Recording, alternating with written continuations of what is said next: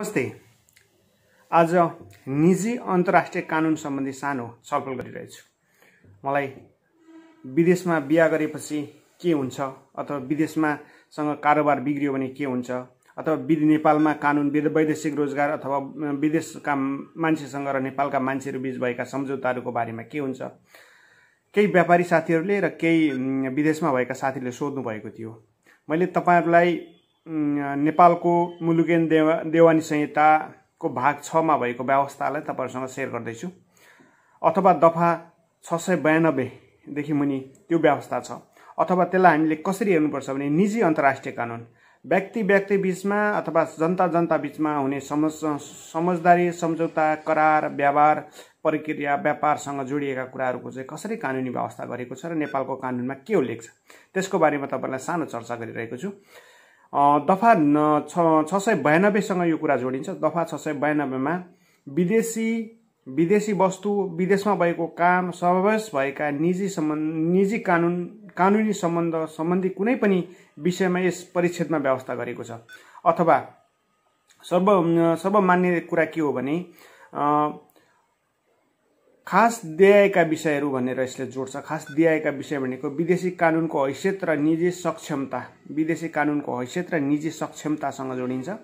अथवा सम्बद्ध पक्षहरूमध्ये कम्तीमा एक पक्ष विदेशी रहेको वैवाहिक सम्बन्ध पैतृक पैतृक तथा मैत्री मातृक अथवा पारिवारिक सम्बन्ध अंश अपुताली सम्बन्धी विषय सोसँग सम्बन्धित काम कारवाही भएको ठाउँ नेपाल बाहिर रहेको कुरासँग चाहिँ अन्तर्राष्ट्रिय निजी अन्तर्राष्ट्रिय कानुनले जोड्छ। कम्तीमा एक वर्ष एक सरोकारवाला एक वर्ष होइन कि एक सरोकारवाला पक्ष विदेशी रहेको निजको विदेशमा रहेको सम्पत्ति सम्बन्धी विषयसँग जोडेर हेर्ने कानुन पनि यसमा पर्छ।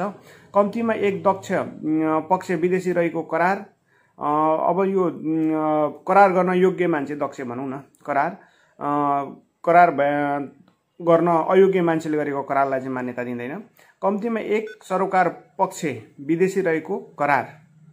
गैर गैर करार सम्बन्धी अधिकार दायित्व र सम्बन्धी विषय। अधिकार दायित्व गैर करार भनेको लेनादेनासँग अरू पनि काम हुन सक्छन् त्यस्ता कुराहरू।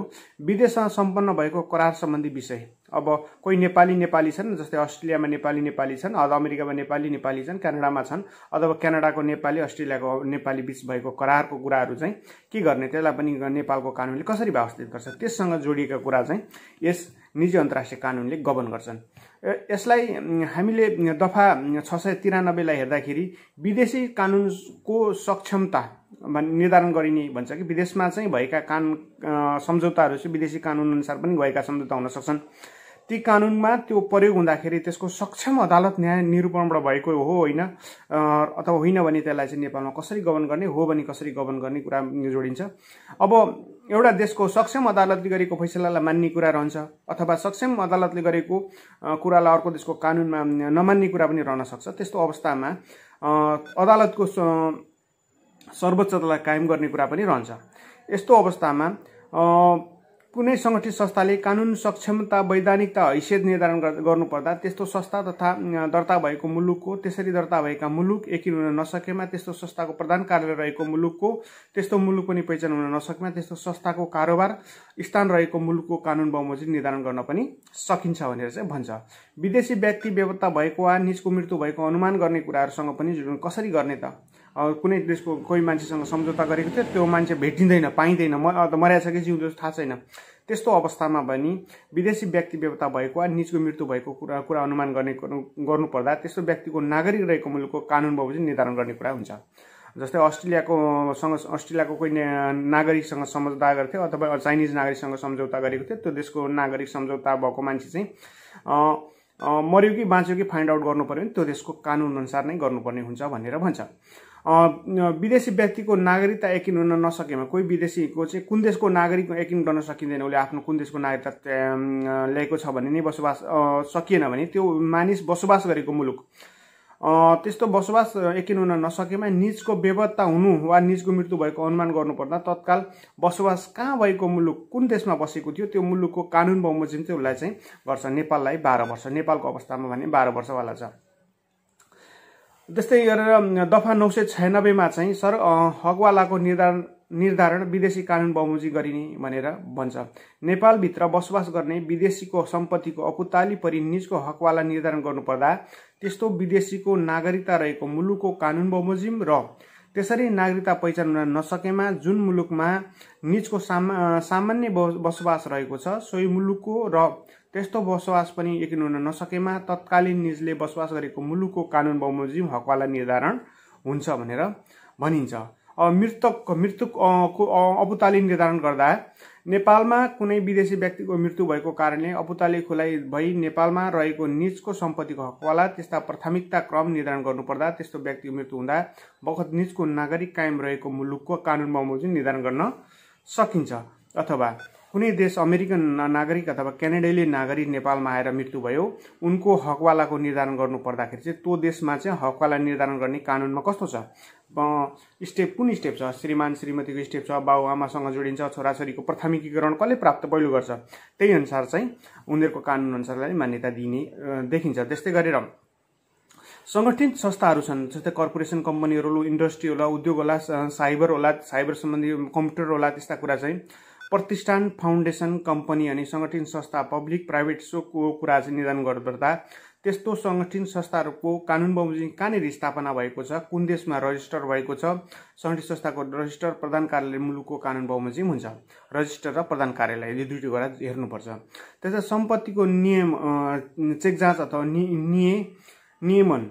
नियमन गर्दा चाहिँ सम्पत्तिको अपुतालीको नियमन मृतकको मृत्यु हुँदाको बखत कायम रहेको सामान्य बसोबासको आधारमा बसोबासको आधारले कानुन बमोजिम हुन्छ तर प्राथमिकरण चाहिँ त्यो देशकै कानुनअनुसार हुन्छ। नेपालको कानुनअनुसार हुने भएन। नेपाली नागरिक विदेशी बिहा गर्दा नेपाल कानुन पालन गर्नै पर्ने। यदि विदेशी नागरिक छ विदेशी नागरिकले चाहिँ नेपालमा बिहा गर्नु पर्यो भने नेपालको कानुन मुताबिक नेपाली शर्त नेपाल कानुनको शर्तमा अधीनमा रही उसले बिहा गर्नुपर्ने हुन्छ नभए बिहा गर्न बिहा गरेको हुँदैन जस्तै। नेपाली नागरिकले विदेशी बिहा गर्दा पुरा गर्नु भने औपचारिक बिहा गरेको मुलुकको कानुन बमोजिम हुनेछ। अब यदि नेपालीले अमे क्यानाडामा गएर बिहे बिहा गरेर रहेछन् भने त त्यहाँको कोर्टबाट बिहा भएको रहेछ त त्यो अनुसारको हुन्छ। त्यस्तै नेपाल कानुन चाहिँ नेपालमा गएर नेपालको कानुनले दिएको औपचारिकता हुन्छ सक्षम कोर्टले गरेको फैसलालाई मान्यता दिनुपर्छ भनेर हुन्छ। जस्तै विदेशी नेपाली बिहा गर्दा निजको मुलुकको कानुन पालन गर्नुपर्ने हुन्छ। नेपालीले बिहाको परिणाम मुलुकले गर्दा चाहिँ विदेशीले वा विदेशी नेपाली नागरिकले नेपालमा बिहा गर्दा प्रत्येक व्यक्तिले आफ्नो नागरिकता रहेको मुलुकको कानुन निर्धारित सक्षमता योग्यता र शर्त पालन गर्नुपर्ने हुन्छ। नेपालमा विदेशीले बिहा गर्दा पुरा गर्नुपर्ने औपचारिकता नेपाल कानुन बमोजिम हुनेछ। नेपाल स्थित विदेशी राजदूतावास महावाणिज्य दूतावास बिहा गर्दा सम्बन्धित मुलुकको कानुन बमोजिम औपचारिकता पुरा गर्नुपर्ने हुन्छ भनेर चाहिँ कानुनी व्यवस्था छ। प्रतिकूल भए बिहा नेपालभित्र मान्यता पाउने छैन। भने त्यसको प्रतिकूलता भयो भने चाहिँ त्यो बिहाले नेपालमा मान्यता प्राप्त गर्न सक्दैन। बिहाको परिमा परिणाम आफ्नो मुलुकको कानुन बमोजिम हुने। परिणाम चाहिँ रिजल्ट चाहिँ बिहा पश्चात दम्पतिको वैबन्ध सम्बन्ध तथा बिहाको परिणाम निजहरूको नागरिकताबाट नागरिकता एउटै मुलुक भए त्यस्तो मुलुकको कानुन बमोजिम त्यस्तो मुलुक फरक फरक भएमा निजहरूको सामान्य रूपमा बसोबास गरेको मुलुकको त्यस्तो मुलुक पनि फरक फरक फरक भएमा निजहरू तत्काल बसोबास गरेको मुलुकको कानुन बमोजिम निर्धारण भएको हुनुपर्छ। बिहा गरेर सेटलमेन्टको प्रोसेस गर्दा चाहिँ जुन देशको नागरिक हुन् त्यही देशको नागरिकताको फलो गर्नु पर्यो। त्यही त्यही देशको नागरिक कानुनको फलो गर्नु पर्यो र जुन छुट्टा छुट्टै देश भए छुट्टा छुट्टै आफ्नो देशको नागरिकताको फलो गर्नु पर्यो अथवा दुईवटा संयुक्त बसिरहेको छ भने स्थानीय बसोबास बसोबास गरिरहेको देशको कानुनको नियम फलो गर्नु पर्यो। जुन चाहिँ उपयुक्त हुन्छ त्यसलाई फलो गर्नुपर्ने हुन्छ। तर उपयुक्त भन्नाले त्यो देशको कानुनको बाहेसमा चाहिँ काम गर्न पाइँदैन। मातृत्व पैतृत्व अथवा बाउ आमाको निर्धारण गर्दा चाहिँ जुन देशमा जुन जुन देशका नागरिक छन् जहाँ बसोबास गरेका छन् त्यो देशको मुलुकको कानुन अनुसार चाहिँ काम यकिन हुनुपर्छ। त्यस्तो तत्काल बसोबास गरेको मुलुक कानुन भएन र छुट्टा छुट्टै ठाउँमा गएका छन् भने कुन देशको अधिकार क्षेत्र प्राप्त गर्न सक्छ? त्यो देशको अधिकार क्षेत्र प्रयोग अनुसार हुन्छ अथवा बसोबास गरेको मुलुक हुन्छ अथवा उसको नागरिकता प्राप्त गरेको मुलुकसँग हुन्छ। धर्मपुत्र धर्मपुत्रीको कुरा जोड्दा चाहिँ धर्मपुत्र धर्मपुत्री जोड्ने कुरा चाहिँ राख्ने कुरासँग जोडिन्छ र ज जो चाहिँ नागरिकता रहेको मुलुकको कानुन बमोजिम जुन देशले धर्मपुत्र पुत्री लगेको छ त्यही देशको नागरिकको कानुनमा धर्मपुत्र पुत्रीको व्यवस्था गरेको छ। धर्मपुत्र पुत्री राख्दाखेरि नेपाल कानुन नेपाल सरकार नेपाल कानुन र नेपालको नियम अनुसार धर्मपुत्र पुत्री लानुपर्ने हुन्छ। त्यो त्यो भनेको धर्मपुत्र पुत्र छोराछोरी सोसर अधिकार प्राप्त गरेको देशले देशका नागरिकलाई मात्रै धर्मपुत्र पुत्री स्वीकार गर्न पर्ने अधिकार कानुनले दिएको छ। त्यो देश भयो देशको मतलब चाहिँ के हो भने छोराछोरी सोसर राख्न नसक्ने देशका नागरिकलाई नेपालबाट धर्मपुत्र पुत्री दिनु हुँदैन भन्ने मान्यता त्यस कानुनले राख्छ। अर्को संरक्षण र माथवर संरक्षण र माथवर पनि हो जसले पालन गर्ने सम्भार गर्ने सुरक्षण गर्ने चाहिँ जुन देशका नागरिक हुन् त्यो देशको नागरिकको बमोजिम संरक्षण नागर सुरक्षण गर्नुपर्छ। संरक्षण र गर्नको लागि चाहिँ माथवरको नियुक्त भएको कानुन बमोजिम हुन्छ। जुन देशको नागरिक र नागरिक कानुनबाट चाहिँ उसको संरक्षण र माथाबाट नियुक्त भएको हुन्छ। त्यही देशको नागरिक छ त्यसको चाहिँ सेटल आउट गर्ने अथवा सेटल डाउन गर्ने कुरा चाहिँ हुन्छ। बसोबास रहेको आधारमा बमोजिम निर्धारण गर्ने कति कुराहरू चाहिँ नागरिकता भन्दा पनि बसोबास। मानव छुट्टिए बसेको भिन्नै बसेको डिभोर्स गरेर बसेको आफ्नो अंश लिएर बाहिर गएको अथवा त्यो देशको नागरिकता छ तर त्यो देशको परिवारसँग जोडेर अर्को देशमा गएर बसेका मान्छेहरू धेरै हुन्छन् विदेशमा। त्यस्तो अवस्थामा चाहिँ त्यो देशको सेपरेसन भएको सेपरेसन भइ गएको कुन देशमा छ? त्यस देशको विचार गरी त्यो देशमा बसोबास गरेको स्थानीय बसोबास गरेको कानुनमा चाहिँ त्यो बसोबासको कुरा चाहिँ त्यो स्थानीय कानुनले के भन्छ? त्यो जुन देशमा बसोबास छ त्यो बसोबास गरेको स्थानीय कानुन। त्यो देशको स्थानीय कानुन अथवा त्यो देशको कानुन अनुसार चाहिँ त्यो त्यो कुरा चाहिँ गभर्न गर्छ। ज जस्तै कोही कोही मान्छे अमेरिकाको नागरिक हो त अमेरिकाबाट चाहिँ उसले अंश परिवारबाट छुटिएर अस्ट्रेलिया गयो। अस्ट्रेलियामा उसको व्यापार व्यवसाय छ तर ऊ बस्न क्यामरुनमा बस्छ भने उसको कारोबार भएको ठाउँमा पनि उसको बसोबा बसोबासको व्यवस्था भएको मान्न सकियो। ऊ क्यामरुनमा पनि ऊ बस्छ भने क्यामरुनको पनि स्थानीय कानुनअनुसार उसलाई गभर्न गर्न सकियो। तर कुन चाहिँ लागु हुने त? अमेरिकन नागरिक हो अस्ट्रेलियामा चाहिँ उसले पिआर पाएको छ त्यहाँ बस्ने अधिकार प्राप्त गरेको छ अर्को व्यापार गर्ने अधिकार प्राप्त गरेको छ क्यामरुनमा ऊ बसोबास गर्छ। भने त्यो व्यक्तिको कुन देशको कानुनले गभर्न गर्ने भनेर जोड्ने कुरा चाहिँ रहन्छ। रहँदाखेरि बसोबासको कारण गर्नु पऱ्यो भने अस्ट्रेलियामा व्यापार व्यवसाय बसोबासको रूपमा गभर्न गर्न सक्ने भयो। क्यामरुनमा बसोबास भएको कानुन गर्न सक्ने भयो। सिटिजनको आधारले अमेरिकाले उसलाई गभर्न गर्न सक्ने भयो। त्यो चाहिँ बसोबासको कुराको कुरा चाहिँ त्यस्तो हो। अब उसले सेटल आउट भइसकेको देशबाट उसले छोडिसकेको देश देश भनेर भन्न पनि मिलेन। किनभने अमेरिकन नागरिक त जुन देशको हो त्यही देशले गभर्न गर्न सक्छ। तर बसोबासको कुरा चाहिँ अमेरिकाले भन्दा पनि जुन क्यामरुन अथवा अस्ट्रेलियाले किन ऊ त बसोबास त्यहाँ गर्छ काम त्यहाँ गर्छ उसको व्यापार व्यवसाय त त्यहाँ छ त्यही अनुसार उसलाई त्यही अनुसार स्वामित्वको लिने ग्रहण गर्ने कुरा चाहिँ अन्तर्वस्तु हुन्छ। स्वामित्वसँग चाहिँ अन्तर्वस्तु कसरी जोडिन्छ भने कुनै सम्पत्तिको स्वामित्व र भोगाधिकार अन्तर्गत अन्तर्वस्तु त्यस्तो सम्पत्ति रहेको मुलुकको कानुन बमोजिम हुन्छ। यदि कुनै उसँगले सम्पत्ति घर जग्गा जोडेको छ स्वामित्व हुनुपर्ने छ उसको चाहिँ सम्पत्तिको भोगाधिकार प्राप्त गर्नुपर्ने छ भने जुन देशमा जस्तै अस्ट्रेलियामा गएर नेपालीले घर किन्यो भने उसले अस्ट्रेलियन कानुन मान्नै पर्छ। अथवा ऊ नेपाली अस्ट्रेलियन कुन हो?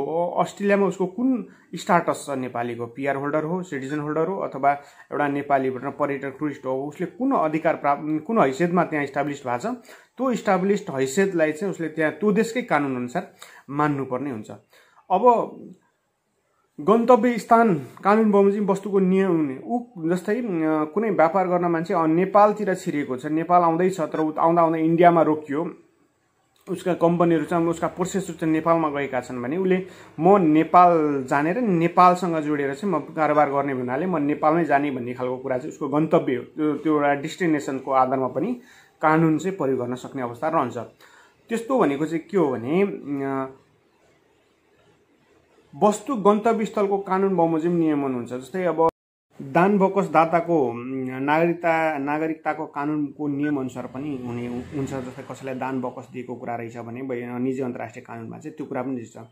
अब कसैलाई न खराब नजरले हेरेको खराब गरेको विदेशी वस्तु विनिमय वस्तुको समावेश भएका कानुन बमोजिम दुष्कृष्टि मानिने खालका काम बापतको दायित्व सिर्जना गर्ने कुरा दायित्व सिर्जनाको कुरा चाहिँ जुन देशमा मुलुकको त्यसको रिजल्ट परिणाम र जुन देश अनुसार ऊ सेटल भएको छ त्यही देशको कानुन बमोजिम त्यसलाई निर्धारण गरेको हुन्छ। जस्तो अर्धकरार अनुचित समृद्धि बापतका कुराहरू पनि त्यसमा जोडिन्छन्। त्यो चाहिँ अन्तर्राष्ट्रिय कानुनले चाहिँ त्यो देशको स्वभाव त्यो देशको कानुनको स्वभाव अनुसार त्यो देशको कानुन बमोजिम निर्धारण हुने कुरासँग जोडिन्छ। त्यस्तै दोहोरो नागरिकताको सम्बन्धमा नेपालमा दोहोरो नागरिकता छैन। तर धेरै देशहरूमा दोहोरो नागरिकता छ एउटा चाहिँ वेलकमिङ नागरिकता पनि दिने चलन छ। ए एकैपटक दुई देशका नागरिकता रहेको निज नागरिकता मान्नु मान्य बसोबास रहेको कुराहरू पनि जोडिन्छ। त्यस्तो कुरा हुँदा चाहिँ जुन देशको नागरिक हो त्यो नागरिकको पहिलो नागरिकताको पहिलो प्राथमिकता र बसोबासको नागरिकताको आधारमा पनि हेरिन्छ दुइटै। त्यो चाहिँ अब जुन अवस्थामा प्रयोग गर्नुपर्ने हुन्छ त्यही अवस्थामा हुन्छ र उसले गरेको कमजोरी अथवा उसले गरेको दायित्व सिर्जना गर्ने कुरासँग जोडिन्छ। अब नेपालमा गैर आवासीय नागरिकताको हकको कुरा छ। त्यसमा पनि कानुन मुताबिक उसले जन्मिँदै नेपाली भएर जन्मिएको तर ऊ कानुनमा व्यापार व्यवसाय गर्न विदेश गएको अवस्था छ। यस्तो अवस्थामा चाहिँ पक्षहरू मिली नेपालकै कानुनअनुसार पनि उनीहरूलाई उनीहरूको दायित्व समस्या सिर्जना गर्ने समस्या सिर्जना भएछ भने त्यसलाई निराकरण गर्ने संयुक्त निवेदन दिएमा चाहिँ अदालतले त्यसलाई पनि हेरिदिने कुरा छ। व्यावहारिक कुरा जनाइदिने कुरा पनि छ। मुद्दा चलेमा मुद्दाको पक्षले चाहिँ कानुन मुताबिक निवेदन दिएमा नेपाल नेपालको कानुन छ त्यसले हेरिदिने कुरा छ। अब अरू कुनै देशहरूमा मुद्दा चलिरहेको छ भने नेपाल देशमा भएको अदालतमा फेरि पनि मुद्दा चलाएको छ भने त्यो विचाराधीन राख्ने अवस्था पनि हुनसक्छ त्यो राख्न सक्ने कानुन पनि छ। पक्षले निवेदन दिएमा चाहिँ मेरो यो देशमा मुद्दा चलिरहेको छ यहाँको मुद्दाको फैसला नभई यो चाहिँ गऱ्यो भने निजहरूको बिचमा चलेको मुद्दाको फैसला नभएसम्मको लागि त्यस्तो मुद्दा मतलब मुल्तबी मुल्तबी राख्ने चलन पनि राख्न सकिने भन्ने कानुनी व्यवस्था छ। नेपाल देशको अधिकार क्षेत्र हुने कुरा चाहिँ नेपाल बसोबास गर्ने विदेशीको बिच विदेशी विदेशी नागरिक बिच भएको कुराहरू चाहिँ नेपालमा हेर्न सकिन्छ। नेपालमा बसोबास गरेको विदेशी प्रतिवादी भएको मुलुक कुरा पनि हेर्न सकिन्छ। मृत्यु हुँदा बखत नेपाली सम्पत्ति भई नेपालमा बसो गरेको विदेशीको पनि नेपालको क्षेत्राधिकार प्राप्त गर्छ। नेपाली नागरिक र विदेशी बिचको लेनदेन व्यवहार भएको कारोबार भएको भुक्तानी नेपालभित्र विषयमा नेपालभित्रको भुक्तानीको विषयमा नै नेपालको क्षेत्र अदालतको क्षेत्राधिकार हुन्छ। विदेशी विदेशी बिच विदेशी नागरिक नागरिक बिच भएको नेपालभित्रको कारोबार पनि विदेशी विदेशी बिच मिलेर गरेको नेपालमा गरेको कारोबार पनि नेपालको क्षेत्राधिकार प्राप्त हुन्छ। नेपालभित्र सम्पन्न नेपाल परिपनमा परिचालन हुने विदेशीहरूको व्यक्तिबीच कम कम्ती एक दक्ष नेपालको नागरिक र सङ्गठित संस्था पक्ष रहेको करार छ भने त्यो पनि नेपालमा त्यसको अधिकार प्राप्त हुन्छ। पक्ष र विपक्ष दुवै नेपाली नागरिक भए वा विदे नेपालमा सामान्य बसोबास भएका विदेशीको नेपाल बाहिर भएको दु दुष्कृति अर्धकरार र अनुचित समृद्धि सम्बन्धी विषय पनि नेपालको क्षेत्र अधिकार हुन्छ। नेपालमा नेपालका अदालतमा निरूपण गर्नुपर्ने अन्य विषयहरू छन् जुन नेपालका नागरिकले प्राप्त गर्छन् त्योसँग जोडिएका विषयहरू पनि नेपालकोले अनुमान चाहिँ गर्न सक्छ। क्षेत्र अनुमान गरी क्षेत्र अधिकार प्राप्त गर्न सक्छ। मुद्दा सम्बन्धी व्यवस्थाको कुरा चाहिँ नेपाल अन्तर्राष्ट्रिय कानुनसँग नेपालमा जोडिने अन्तर्राष्ट्रिय निजी अन्तर्राष्ट्रिय कानुनसँग जोडिने कुरा चाहिँ अदालतमा सामान्य हुने विदेशी संलग्न भएका विदेशीहरूको क्षेत्र अधिकार रहेको अदालतमा चलेको मुद्दा सम्बन्धी विषयको समेत समाधान गर्नुपर्ने देखिने अवस्था रह्यो भने अदालतले त्यस्तो विषयमा आफ्नो अधिकार क्षेत्र क्षेत्र अधिकार अधिकार क्षेत्र ग्रहण गरी त्यसलाई पनि लिन सक्छ। सन्धि सम्झौता भएका भएका मुलुकको नागरिकको कुरा छ सन् पक्षका छुट्टै सन्धि त्यो देशको सन्धि अनुसार पनि क्षेत्र अधिकार ग्रहण छ भने त्यसलाई पनि लिन सक्छ।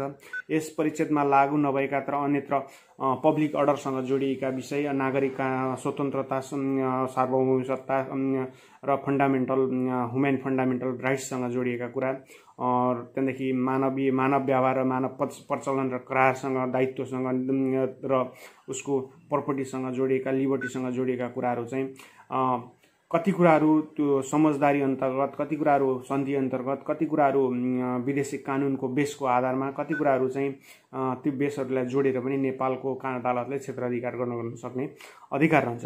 यसरी मापदण्ड मापदण्ड र लिङ्किङ क्राइ क्राइटेरिया लिङ्किङ क्राइटेरिया मापदण्डसँग लिङ्किङ क्राइटेरिया भनौँ।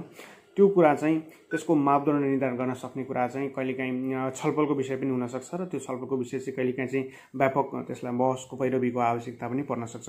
यो नेपालको लागि नयाँ कानुनको ढाँचा भएको हुनाले केही बुझ्न अप्ठ्यारो पनि हुनसक्छ। तर समग्रतामा संसारका सबै देशका नागरिकसँग जोडिएको र नेपालसँग जोडिएका नागरिकसँग जोडिएका कता न कता नेपालसँग जोडिएको विषय चाहिँ नेपालको अदालतले क्षेत्राधिकार गर्न खोजेको नेपालमा न्याय माग्दा पाइन्छ भन्ने कुरा जोडेको जस्तो हामीले चाहिँ देखिन्छ। अहिलेको कानुनमा कम्तीमा यति पनि धेरै ठुलो भयो यति पनि थिएन। अहिले चाहिँ नेपाल नेपालमा निजी अन्तर्राष्ट्रिय कानुनको ठुलो भूमिका र नेपाल नेपालीहरू संसारभरि छरिएको हुनाले आवश्यकता महसुस हुन्छ। तपाईँहरूले ज जसले सोध्नुभयो मैले कानुनकै मकसदमा रहेर मैले जानेको र कानुनमा भएका कुराहरू तपाईँलाई सेयर गरेँ। तपाईँले यसरी नै तपाईँलाई लागेका जिज्ञासाहरू सोध्नुभयो भने मैले तपाईँलाई युट्युब मार्फत पठाइदिनेछु। यो सबैका लागि हो। कतिजनाहरूलाई कसरी के हुन्छ भनेर जिज्ञासा हुनसक्छ मेरो म अधिवक्ता लक्ष्मी अधिकारी एडभोकेट तपाईँहरूलाई यस्तो बारेमा जानकारी अरू पनि सोध्न मन छ भने सोधि पठाउनु भए तपाईँहरूलाई सहयोग सुझाव कानुन सम्बन्धी मैले जानेका र कानुनमा भएका कुरा सोधखोज सोध गरी खोज गरी कानुन हेरी तपाईँलाई सेयर गर्नेछु। नमस्कार। यो केवल शिक्षाको लागि हो केवल ज्ञानका लागि हो। अरू परिजनका लागि हो उपयोग नगर्नु भए राम्रो हुन्छ। केवल तपाईँहरूलाई नलेज सेयरिङका लागि मात्रै यो मैले युट्युब च्यानल बनाइदिएको छु। धन्यवाद।